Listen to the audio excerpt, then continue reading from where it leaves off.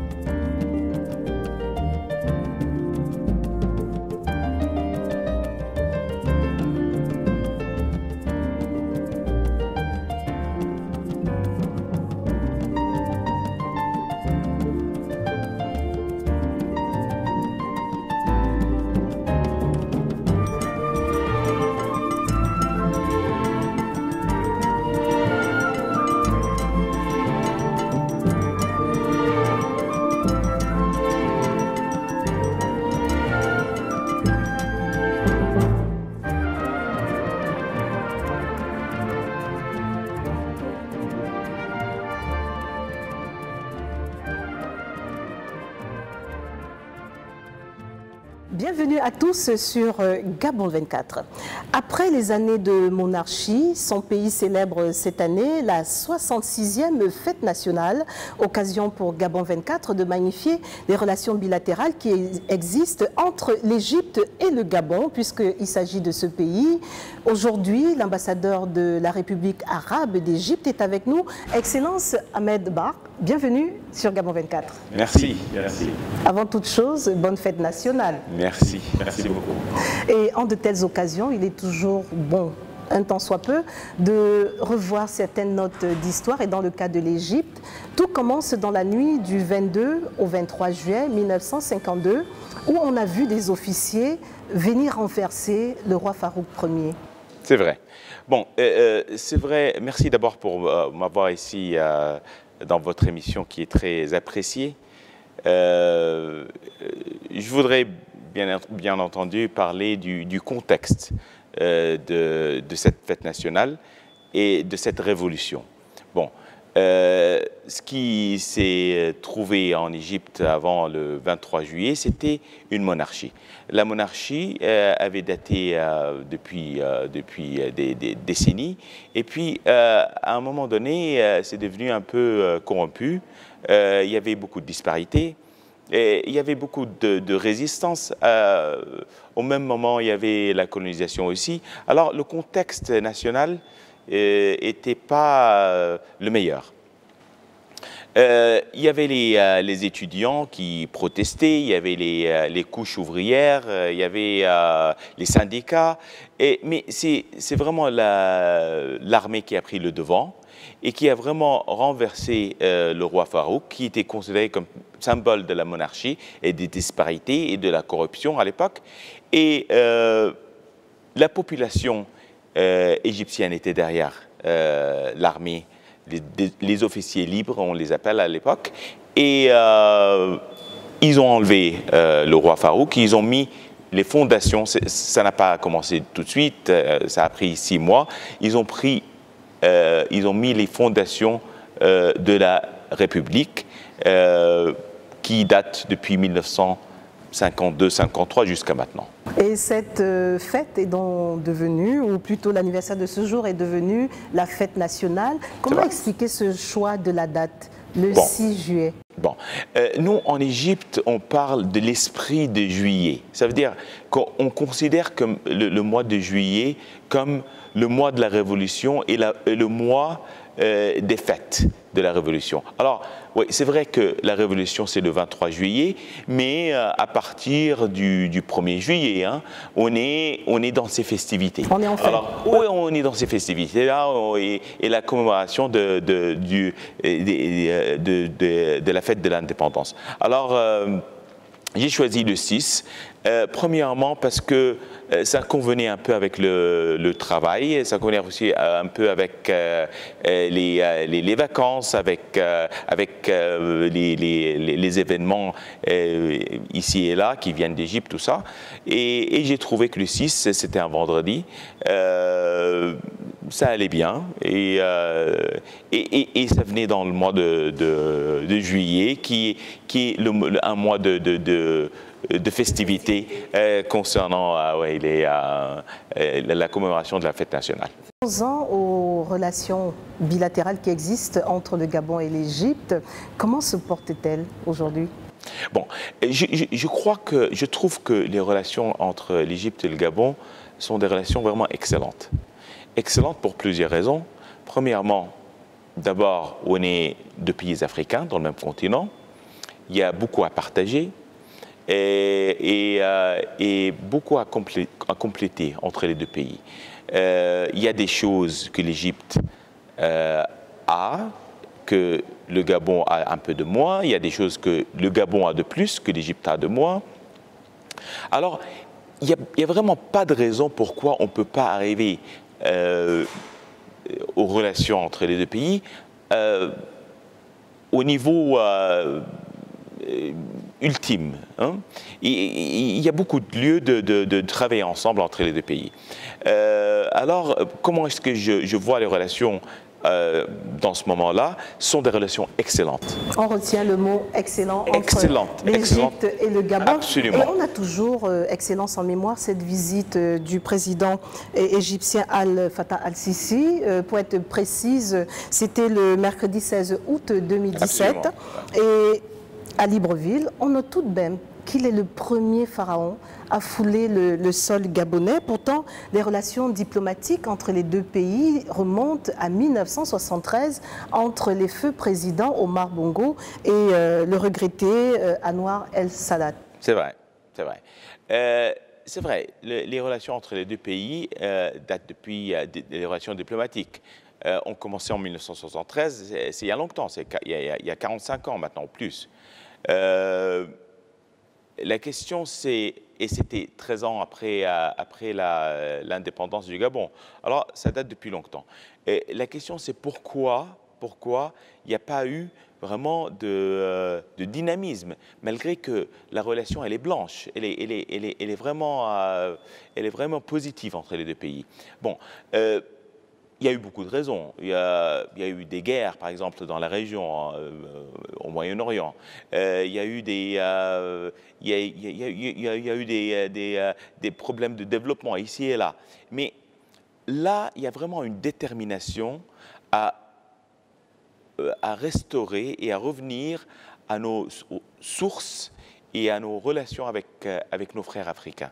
Et ça se voit vraiment dans la politique étrangère égyptienne, euh, et c'est pour ça le président Al-Sisi était déterminé vraiment à voir les amis, les amis africains, euh, que ce soit dans le bassin du Nil ou autre, où, il y a vraiment des bonnes relations et une bonne histoire et des bonnes relations avec, les chefs, avec leurs chefs d'État.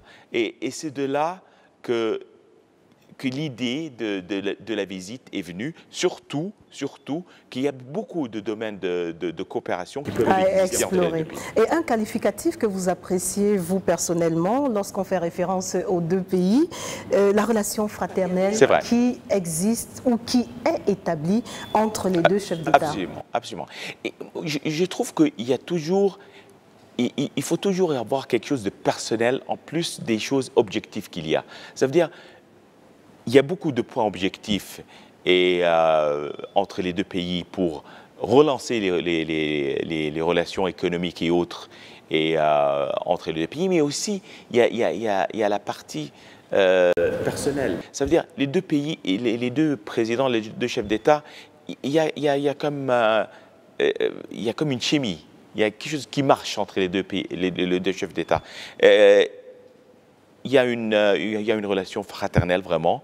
les deux chefs d'État vraiment, ils, ils sont ils s'appellent régulièrement, ils, ils, envoient des, des, ils échangent des. Sans euh, oublier qu'il euh, a été l'un des premiers à féliciter le président Ali Bongo tout à fait, tout à fait, tout à fait. Après, euh, après sa réélection en, en, 2016, il a été un, des premiers à le féliciter. Ils sont toujours en train de, de, s'envoyer des, lettres de félicitations, de meilleurs vœux dans les fêtes, dans les, occasions de fêtes nationales, dans d'autres célébration. Alors, vraiment, les relations sont très, très, très bonnes. Et ça, s'est vraiment manifesté lors de la visite du président El-Sisi euh, ici. Et après, et, puis, et puis les, visites du, président, euh, euh, son Excellence Ali Bongo Ndimba, en Égypte en 2016 et en, en novembre 2017 lors, de la, lors du forum de Charles Mecher sur, sur la jeunesse. Alors, la coopération égypto-gabonaise se distingue surtout dans les secteurs de la sécurité, la santé et de la politique. Sur ce dernier point, euh, la dernière visite, euh, on en parlait déjà, du président Al-Sisi au Gabon, où son homologue gabonais et lui euh, ont parlé des éléments clés. le commerce, l'investissement, notamment dans la filière au bois. Où en sont les choses? Euh, vous avez bien mentionné, hein, y a, les, relations euh, euh, entre les deux pays et, sont, sont, vastes. Hein. et on peut en parler pour des, heures et des heures, ça ne se termine pas. Non seulement, on va, on va aller à l'essentiel, et non seulement, non seulement ce qui existe, mais le potentiel aussi. Le potentiel il est encore plus grand que ce qui, ce qui, ce qui a à, présent. Et c'est ça ce qu'on veut explorer. Bon, euh, dans le domaine de, la sécurité, vous avez mentionné, il y a des, il y a des menaces euh, euh, communes entre les, pour, les, pour les deux pays. le terrorisme, par exemple, le terrorisme qui est le Boko Haram qui est venu, par exemple, qui, qui est arrivé au nord du Cameroun et qui est pas trop loin, ou au Nigeria, qui est pas trop loin du, Gabon et, et qui menace aussi l'Égypte. Alors, il faut euh, concerter les efforts, il faut travailler ensemble pour mettre fin à ces, à ces, euh, à ces menaces-là. Et, et, là, il y a lieu de travailler entre les deux pays. Euh, parce que nous, le terrorisme, on a, on a souffert du terrorisme et, et, on veut vraiment bloquer le terrorisme en Afrique et on ne veut pas aussi que, que le terrorisme aille euh, au-delà de, de là. Ça infiltre dans, dans, des, pays comme. absolument. Alors, ça, c'est très important. Euh, bien sûr, il y, a, le commerce et le développement. Euh, lors de la visite de, du, président El-Sisi ici au Gabon, il y, a un, accord de, de, com, de, commerce qui a été signé. il a été ratifié par l'Égypte.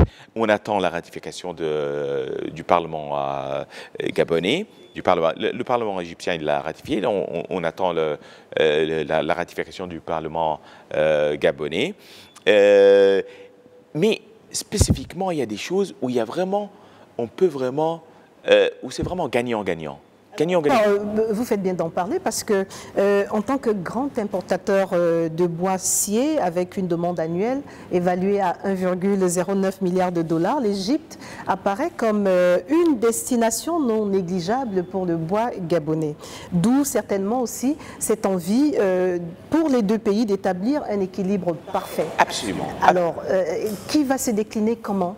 Parce que d'un côté, le Gabon représente l'une des plus grandes forêts euh, du monde et de l'autre, l'Égypte avec sa technologie, une jonction qui pourrait se faire comment pour euh, une plus-value? Je suis très content que vous ayez euh, évoqué ce, point-là. ce, ce, point-là en particulier, il peut être l'objet de beaucoup de coopération entre les deux pays. Je vais vous parler de la filière meuble, euh, et, euh, en Égypte. On a une ville en Égypte, elle s'appelle Damiet, euh, elle est au nord, elle est une des, des, villes les plus importantes dans la fabrication de meubles dans le monde. la production de cette ville-là, elle, elle, monte à, à, 4% de la production mondiale des meubles. Il y a tout genre de meubles. Hmm. Il y a toujours de meubles. Il y a 50 ou 60 000 ateliers de meubles. Il y a le plein emploi. Les gens, ils travaillent dans les, meubles dans, tous les domaines. Alors, ça, c'est une ville énorme dans cette fabrication-là. Bon. D'autre part, il y a le Gabon. le Gabon a des forêts énormes, comme vous avez euh, mentionné, et des, des genres divers de, bois, et en même temps, il y a deux choses. Premièrement, euh, le président, il a mis, le président de la République gabonaise, euh, il a mis le point, il a accentué sur le fait qu'on ne veut pas euh, exporter les grumes, mais on veut faire une première, deuxième, troisième transformation sur le bois pour créer une valeur ajoutée pour créer des emplois et des revenus et ne pas dépendre seulement sur le, sur le pétrole comme avant. Alors là, vraiment, vous avez un avantage dans ce domaine-là. Et en Égypte, il y a l'expertise aussi, parce que le travail et, et, la production qui se fait euh, en Égypte, ça vient de, de, de, père en fils, en grand-père, et, c'est vraiment établi. Alors pourquoi on ne peut pas vraiment faire cette, cette, jonction. Voilà. Vous avez des choses que nous, on peut vous aider dans et, vice-versa. On n'a pas les forêts. aussi d'une délégation égyptienne absolument, du Gabon Absolument. Il y, a, il y, a, une délégation dans le Gabon Wucho, il y a une délégation euh, de la Chambre euh, d'industrie et, du bois qui est venu ici en avril 2017. Euh, ils ont exploré les moyens. Il y a des délégations gabonaises qui sont venues en Égypte. Ils ont vu ce que l'Égypte produit. Alors vraiment, c'est un domaine et il y a des investisseurs qui sont intéressés à investir, à, investir dans le coque. Ils ont commencé déjà. Ils ont commencé déjà. il y a déjà une usine qui qui va fonctionner très très bientôt. il y a des projets, des méga projets qui, euh, qui, qui, vont, euh, qui vont aussi spécialiser dans, ce domaine-là. Alors, je trouve que ce domaine-là, on peut vraiment mettre nos mains ensemble et pour vraiment en tirer quelque chose parce que, parce que absolument, absolument pour le continent, surtout que nous, on, importe euh, beaucoup de notre bois de l'Europe euh, et, je ne vois pas pourquoi.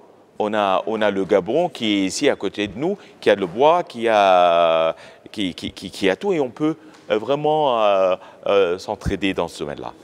Autre domaine de coopération, la santé, avec l'une des fiertés du couple Égypte-Gabon euh, depuis avril 2009, euh, le centre hospitalier égypto-gabonais du quartier Beau Séjour et nous sommes là, pour ceux qui ne connaissent pas le Gabon, dans le 5e arrondissement de Libreville. C'est vrai. Déjà juste en parler, ça vous donne le sourire. Absolument, absolument. Bon, euh, le, le, domaine de, de la santé, c'est un des domaines les plus anciens entre les deux pays. Bon, il y a eu euh, l'inauguration du, du, centre hospitalier euh, égypto-gabonais. Et euh, il y a aussi des coopérants.